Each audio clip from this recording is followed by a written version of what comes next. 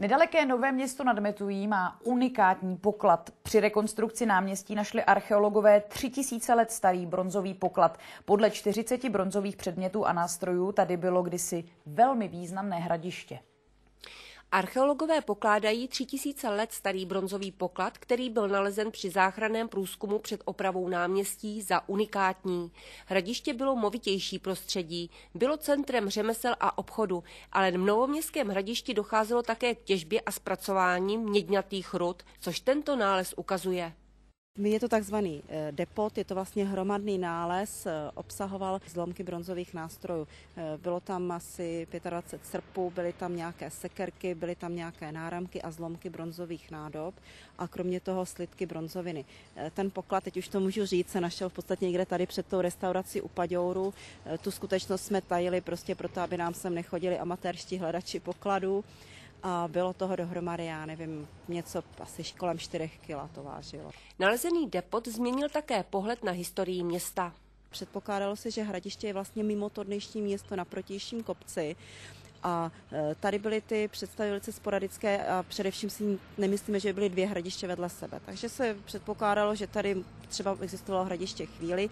My dneska víme, že hradiště tady skutečně bylo, že bylo veliké, že bylo v celém rozsahu toho dnešního vlastně e, centra města a že trvalo průběžně, protože my tady tu zástavbu máme prostě pro celé období popelnicových polí, my to máme od nějakého roku 900 minimálně do roku 600. Nevíme ještě, jak intenzivní v které době ta zástavba byla, protože to je otázka, kterou budeme řešit, až umyjeme střepy. Na jiné části náměstí před domy s vlaštovčími ocasy byly nalezeny dva urnové popelnicové hroby z doby tzv. lužické kultury. Jeden z nich zřejmě patřil tehdejšímu válečníkovi. Byl to kruhovitý hrob, na dně byly nádoby, bylo tam asi šest keramických nádob a celé to bylo překryto původně dřevěným štítem, který se pochopitelně nedochoval, ale dochovala se jeho středová bronzová poklice, my tomu říkáme umbo.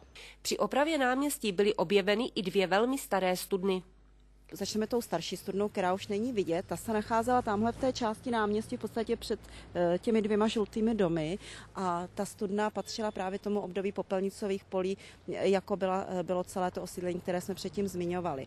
Ale studnu opravdu velikou, jsme naše podstatně mladší, to souvisí až se založením města, které samozřejmě muselo řešit tuhle tu koncentraci obyvatel a ta se nachází hned před námi. My už dneska víme, že to byla vlastně eh, vyčištěná velice hluboká skalní puklina, která byla v těch vrchních částech nadezděna takovou poměrně složitou soustavou oblouku, které vlastně eh, nějakým způsobem roznášely ten tlak okolní zeminy a bylo to něco mezi studnou a cisternou.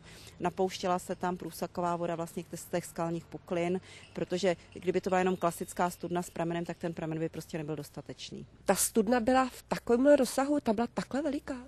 Eh, ta studna byla skutečně v tomhle rozsahu, naopak je jen je lehce ubouraná, protože těm, kteří rekonstruovali náměstí eh, v 70. letech, tak překáželi tady ty dva oblouky nad sebou, které jsou docela staticky významný a únosný, takže si prostě jeden, to, co je tady za námi, tak si prostě jeden ubourali, takže byla ještě naopak o něco pevnější a v tomhle rozsahu se stavěla rovnou, protože eh, to podloží tady bylo asi poněkud problémové, protože na ty skály, které se drobily, nasedali nejdřív štěrkopisky, na tom jsou nějaké spraše, takže oni se s tím potřebovali porovnat a potřebovali to tady zajistit tak, aby ta stunda skutečně fungovala, aby se jim nesesypala.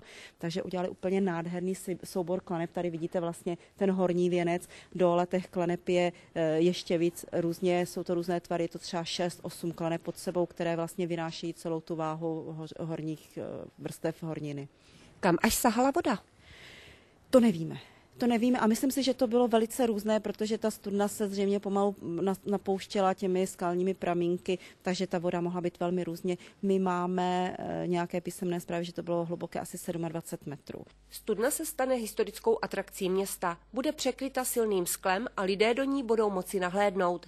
Přání radnice je, aby také všechny nálezy skončily ve zdejším muzeu.